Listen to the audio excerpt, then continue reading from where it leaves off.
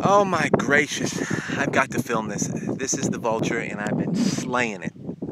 I mean, just killing it today. It's craziness. I got mud goop here that I'm trying to tiptoe by. I just found a point that I deleted the video of because I stepped two steps down and found another smoker, which I'm going to get to, which is this one. but look at this. This is the point that I just found. Just a couple steps down that way. Whew. So wet here, let me, I just dipped it in the water. Look at this point.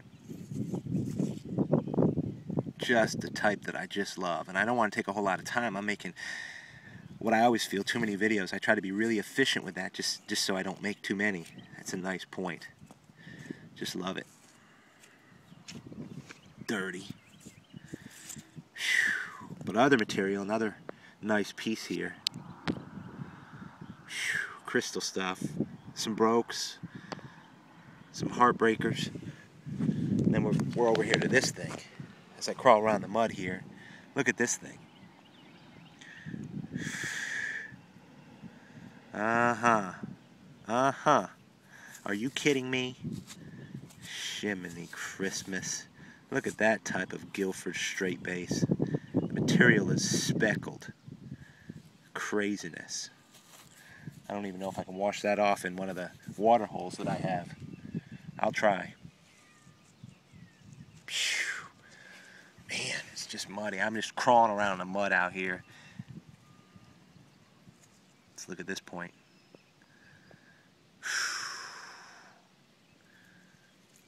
I mean to tell you, that's a lance point.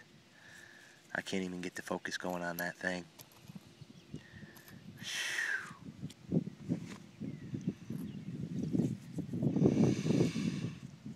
That's a lineup for you right there. Holy cow. My hands are filthy, so I'm just trying to make sure this camera doesn't get messed up. Can't even see it blending in with the dirt. Gracious.